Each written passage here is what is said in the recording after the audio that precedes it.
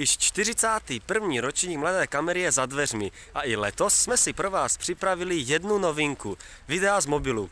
Už nemusíte zhánět žádnou drahou techniku. Stačí si vzít do ruky pouze mobilní telefon nebo například tablet a začít točit. Můžete stříhat, dělat různé efekty a sdělit cokoliv, co chcete. Vaše videa budou zveřejněna na Facebooku Mladé kamery a těch 10 nejlepších se dostane do hlavní soutěže a budou promítnuta na velkém plátně. Nemusíte se vůbec přihlašovat. Vaše dvouminutové video nám zašlete přes jakoukoliv úschovnu na mailovou adresu mladá kamera zavináč seznam.cz.